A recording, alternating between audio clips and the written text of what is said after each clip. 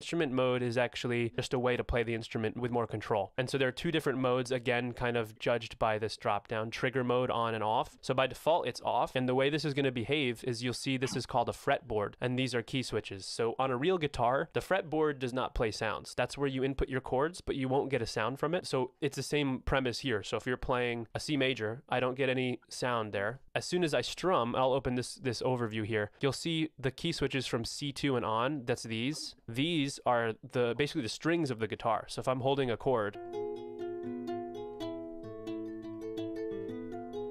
um, and then you've got a couple of different things like if you're playing notes, you've got a release.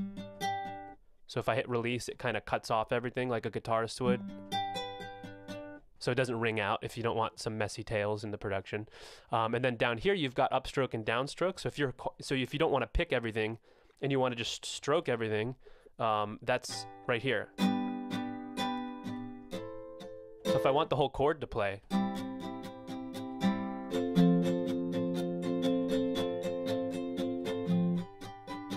so that's a really cool way to do that. And then up here, there's a strum auto way at the top here. They're all labeled. But strum auto is kind of doing that for me, so I don't really have to be clicking two keys all the time. Um, these two are mostly useful because you can specify if I only want downstrokes. Like that, and then that's kind of helpful.